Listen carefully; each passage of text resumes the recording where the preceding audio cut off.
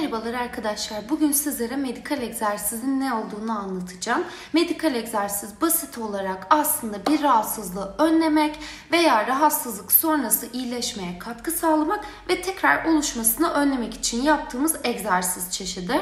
Bunu da aslında en basitinden şöyle anlatabilirim. Mesela sürekli oturarak çalışıyorsanız bu sizi omurga problemlerine açık hale getiriyor.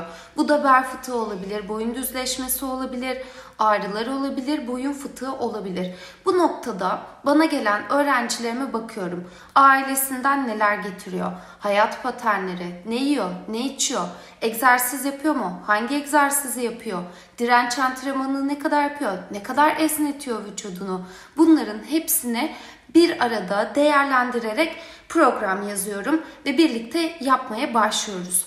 Bunun içerisinde e, benim farklı yaptığım şöyle bir şey var ki yoga, mindfulness, fitness, düzeltici egzersiz, nefes çalışmaları bunların hepsini dahil ediyorum. Çünkü vücudumuzun aslında hepsine ihtiyacı var. Bir bütün olarak bakmak gerekiyor vücuda. Bunun içerisinde yüz yogasını da dahil ediyorum. Çünkü vücudumuzun da ilgiye ihtiyacı var. Bunu da başka videoda anlatacağım.